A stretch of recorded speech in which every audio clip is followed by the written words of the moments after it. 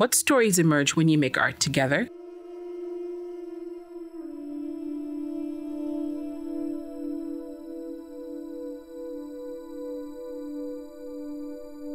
My name is Yussef Olaniyi Agbo-Ola.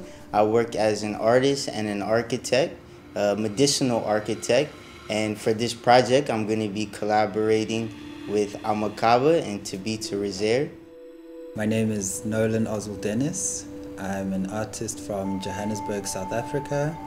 I'm also part of an artist group called NTU.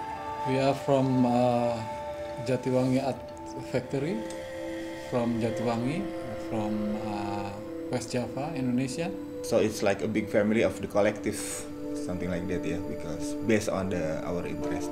We work with films that were made by others.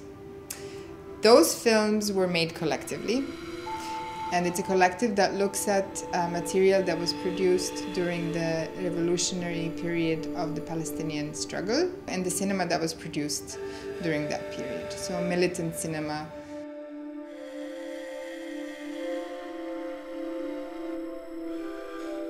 International and local groups of artists will engage in dialogue at the Van Abbe Museum in an exhibition that brings together both individual and collective works. They show us that collectively we achieve more together than alone. If you're open to that collaboration, you're open to understanding different cultural perspectives, then you know you become a you become you become what the environment needs to evolve. Yeah, we don't want also rom- to romanticize the collectivity, but also I guess evoking the subjectivity. I think that's important, and also that can be stimulating in the collective imagination.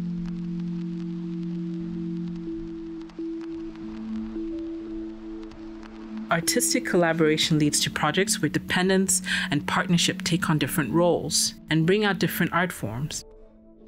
Our work is possible because of the relations that were uh, that still exist today that we tapped into and became part of. I think we often forget that everything is collective and uh, paying attention to collectivity like we do in this show uh, is an important reminder that being collective is not a special occasion. It's every day. We, we come to making campaigns about uh, our problem in situation in Jatiwangi, but this is not only in Jatiwangi, maybe around the uh, world, and we try to making uh,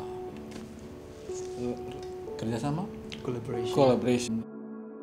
Pause and ask yourself what is more achievable together than alone? In this exhibition, we make kind of booth for inviting people also to join uh, with us to making or to realize a collect a forest that we want to make because as Arif mentioned like now our village is become a destination for the infestation and industrialization and lot of land grabbing etc so we also inviting people to invest but then invest i- in other ways to make it a forest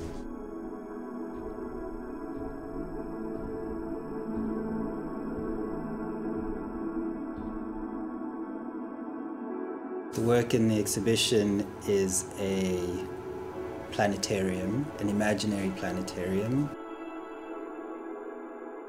that combines uh, scientific mapping with political mapping and spiritual mapping. The stars teach us that everything is connected and time is much deeper, both uh, in the past and in the future, than we like to remember.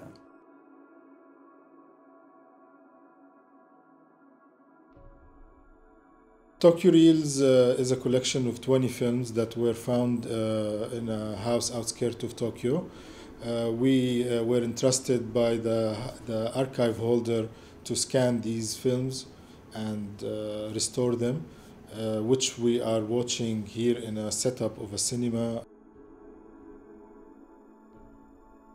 We're presenting our reflection, but then also our research, uh, some speculation as to how these films ended up to be together. So PITU Fertilization Temple is imagined and conceived as a living architectural entity. And this is something that Olaniyi Studio kind of works on a lot. This idea of like architectural death, architectural like decay, and like basically creating sacred spaces that completely evolve with the environment.